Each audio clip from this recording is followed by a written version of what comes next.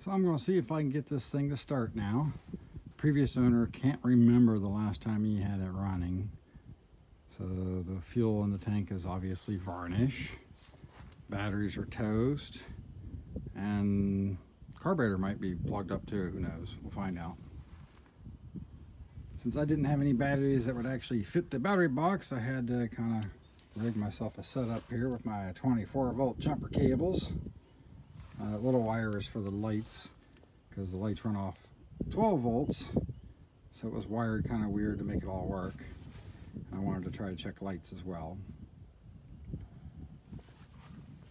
So I got my fancy little redneck fuel system here. I don't even know if the fuel pump will push any fuel or what the inside of the tank looks like, so I'm just bypassing all of that.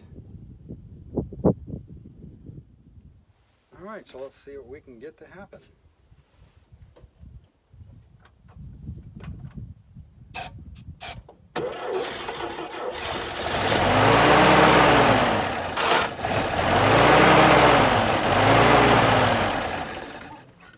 Well, I guess the fuel pump works.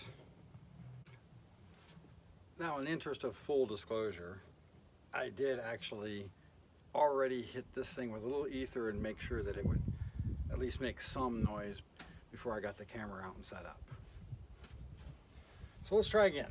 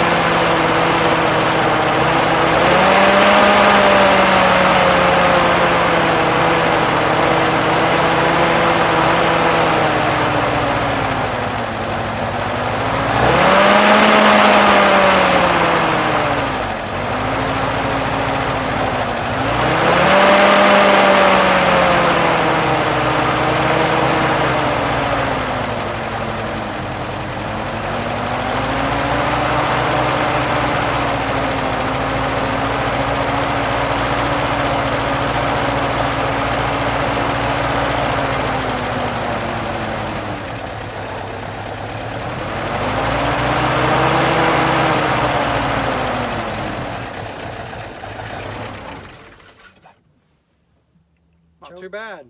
Yeah, sounds good. Running fine. Cobwebs are burning off.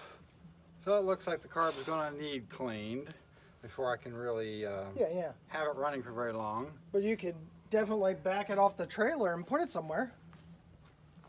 What?